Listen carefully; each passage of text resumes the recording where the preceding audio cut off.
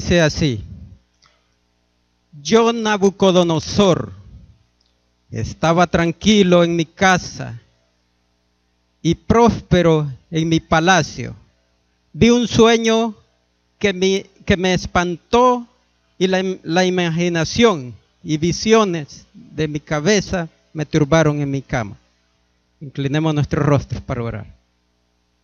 Eterno Dios y Padre Celestial, tú quieres hablar en este momento por medio de tu palabra, porque tu palabra es vida. Es viva, Señor, donde puede traspasar nuestros corazones. En esta hora, Señor, yo ruego tu presencia. Quiero, Señor Jesús, que me uses. Quiero, Señor Jesús, que pongas palabras en mi, en mi boca. Quiero, Señor Jesús, que tú seas el que hables y hables a los corazones, porque solo tu palabra es vida, Señor Jesús. Y yo sé que nadie queremos escuchar inspiraciones humanas, Señor, porque de eso estamos acostumbrados a escucharlos cada momento, Señor. Queremos escucharte a ti, Señor. Por eso ruego que me uses. Te lo ruego en tu nombre, nuestro Señor Jesucristo. Amén. Apenas según tenemos el horario, solo hay 10 minutos para poder cumplir con la con el tiempo que tenemos de meditación. Pero quiero decirles que al ver la palabra de Dios que nos inspira, yo me gozo. Al ver que Dios tan amoroso a quien servimos. ¿Cuántos dicen amén por eso? Nuestro Dios nos busca. Nuestro Dios nos persigue.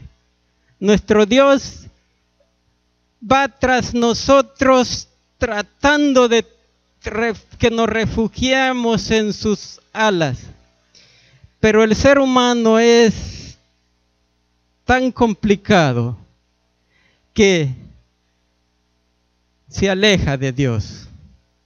Al ver la historia de la que estamos hablando, Nabucodonosor.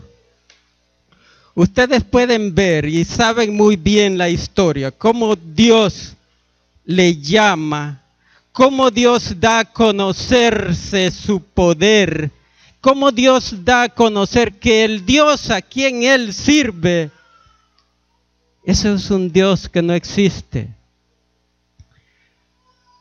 Habla por medio de Daniel, pero él nunca escuchó, por momentos dio a conocer que creía en el Dios de Daniel, pero siempre la tranquilidad de su reino, siempre la tranquilidad de la vida como gobernante que tenía, eso lo mantenía que tranquilo.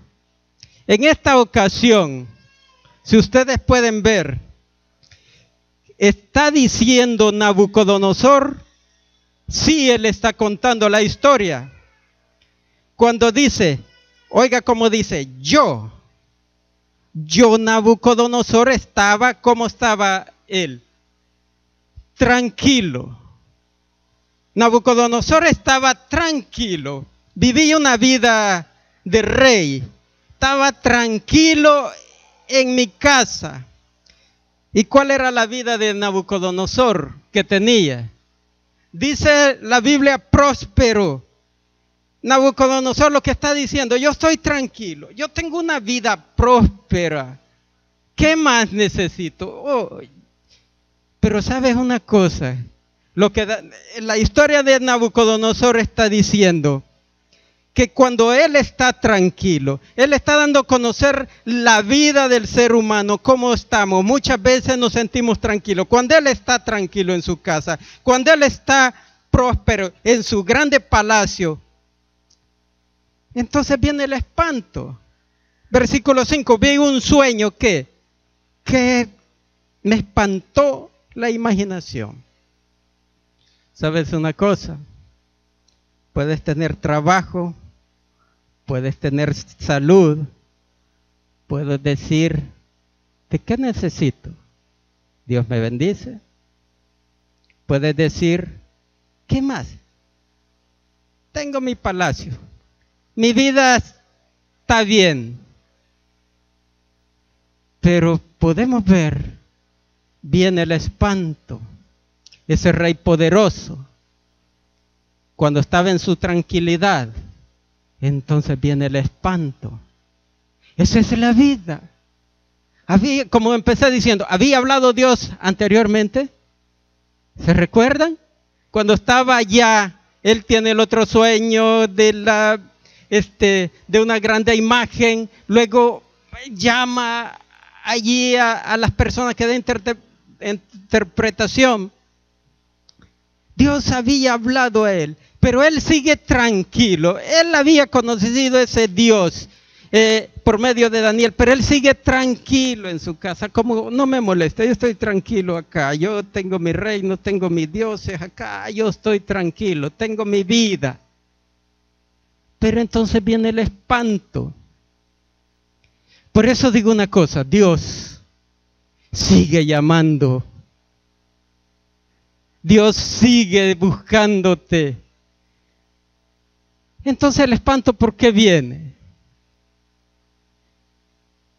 La Biblia me habla del gran espanto. Dice la Biblia que él tiene el sueño de un árbol grande. Un árbol donde este era un árbol donde acobijaba todas las aves, las bestias del campo iban y se cubrían allí. Según nos dice la interpretación, ese era el rey. Pero ¿qué pasa? En la historia, en, en la vista de Dios, él ama a Nabucodonosor. Como no había escuchado el llamado que había hecho anteriormente, no había doblegado su corazón. Entonces, ¿qué pasa? Hoy viene y viene él nuevamente, mire cómo Dios está siguiéndole. Nuevamente viene la palabra de Dios y le dice, mire, ok, no hiciste caso. Hoy viene una profecía, este sueño.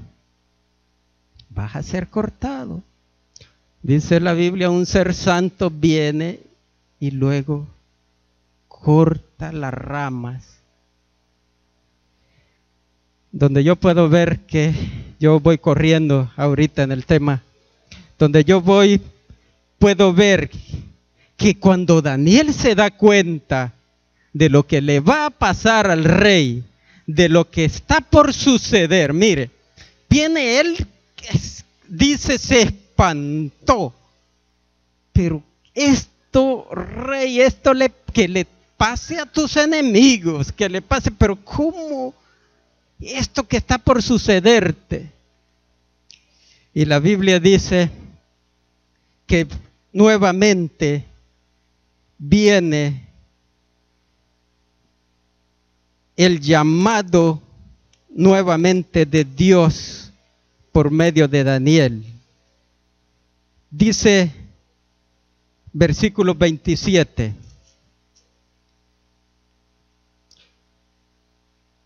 Cuando él le da a conocer Daniel lo que le va a pasar, vas a ser cortado, todo eso. Pero mire, mire cómo le dice en el versículo 27 nuevamente.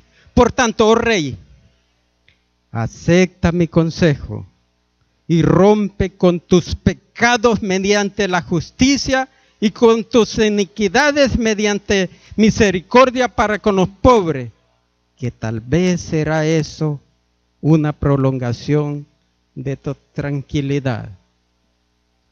Déjame decirte si en un momento tú te tienes tranquilo con la vida que Dios te ha dado hasta ahorita. Déjame decirte esto. Si tú crees que estás tranquilo con esa vida, Entrégate completamente a Jesús, porque Él va a conservar tu tranquilidad. Pero si no, Dios te ama tanto que puede ser cortado y viene el sufrimiento. ¿Esperas eso? ¿Esperas que Dios por, obligue a ese Padre eterno que ama tanto a sus hijos tener que llegar a un extremo así? ¿Sí o no? Eso es lo que está permitiendo Nabucodonosor. Él está llamando todavía, Daniel dice, si tú te arrepientes, puedes mm, tener esa tranquilidad un poco más, Dios te la puede conservar, pero tienes que arrepentirte. No solo tienes que conocer a ese Dios como le hiciste la vez pasada, entrégate a Jesús. Eso es lo que está diciendo. Lamentablemente usted ve la historia. Oh,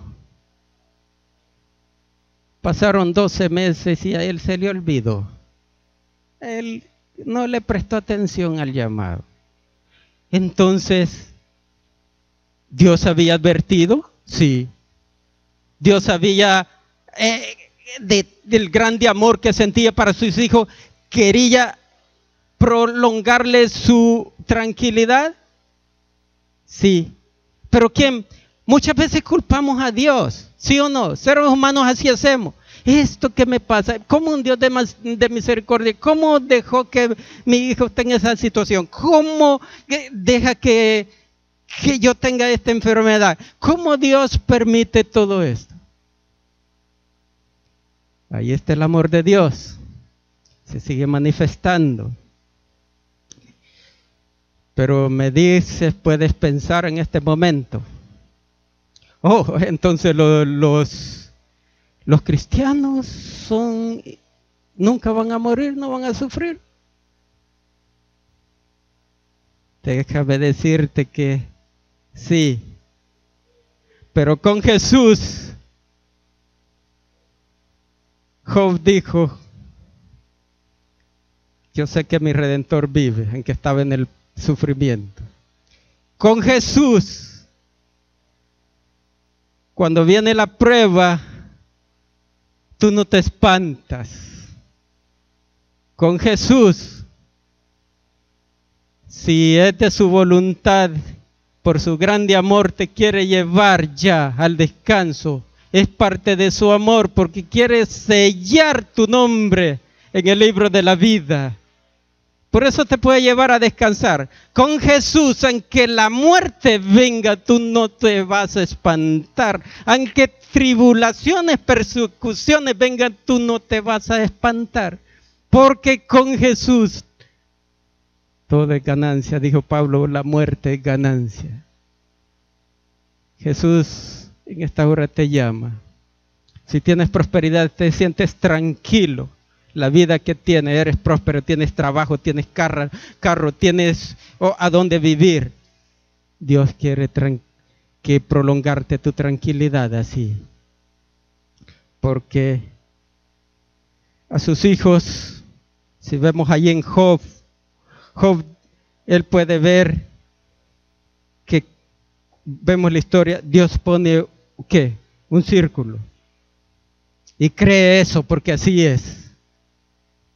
Y si algún momento llega una dificultad, es porque Dios quiere tener una relación más estrecha contigo.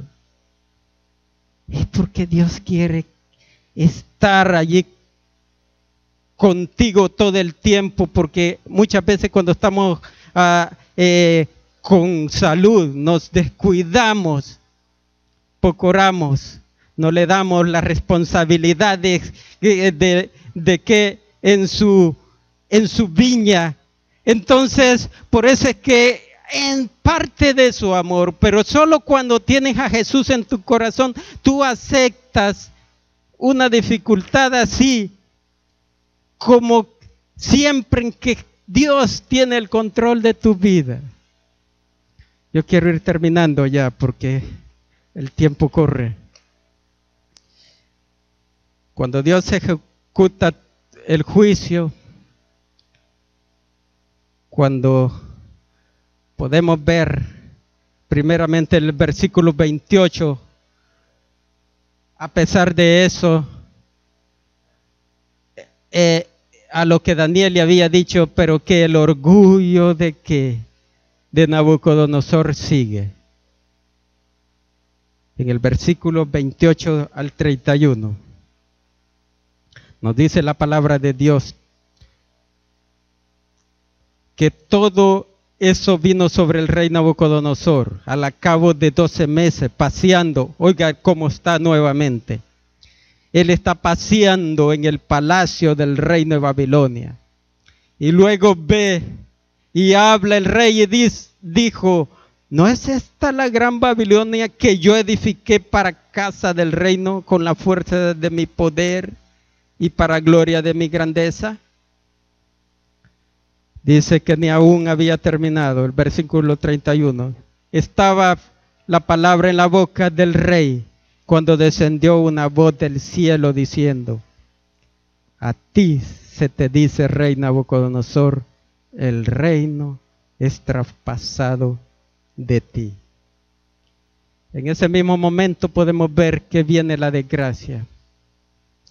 Viene una grande enfermedad sobre él donde yo imagino Nabucodonosor su cerebro y empieza su instinto a pensar que él es un animal, empieza a correr como un cabrillo, empieza a decir que él es un animal. Una grande enfermedad llegó a su, a su vida. Pero pasaron muchos años, seis tiempos, dice para que Él logre a recapacitar. En esta hora Dios te llama. No espere que por su, no obligues a ese Padre que te ama tanto, llegue hasta allí.